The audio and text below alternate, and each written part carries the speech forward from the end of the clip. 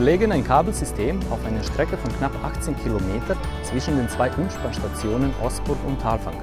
Die Herausforderung war, das Kabelsystem in dieser stark bewaldeten Landschaft im Mittelgebirge nach elektrischen und geografischen Merkmalen auszulegen.